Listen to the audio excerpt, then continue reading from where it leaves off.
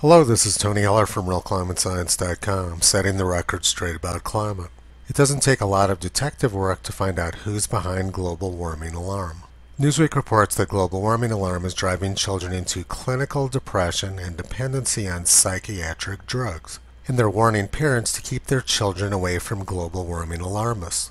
But this is very difficult to do because the children are being immersed in global warming alarmism by their school teachers and their school teachers are being trained to frighten children by the United Nations. At one time, local school boards had control over schools' curriculum, but climate alarmists have taken community control away and handed it over to the United Nations. Meanwhile, the founder of the Extinction Rebellion is calling for rationing and the confiscation of private property, which also just happens to be the Communist Party platform. Communist Party USA, people and planet before profits, Abolition of private property? The father of communism, Karl Marx, says in his manifesto of the Communist Party, in this sense the theory of the communists may be summed up in a single sentence, abolition of private property. People are not going to be handing over their private property voluntarily to the communists.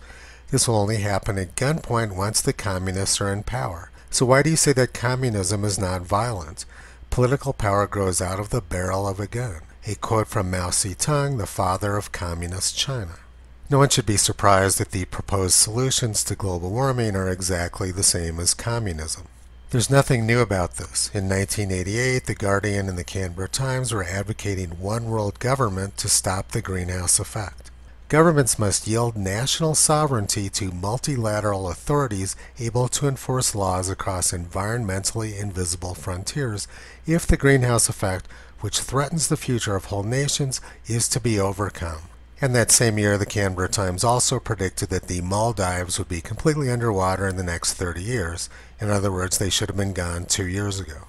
And one year later, a senior environmental official at the United Nations, Noel Brown, said entire nations could be wiped off the face of the earth by rising sea levels if global warming is not reversed by the year 2000.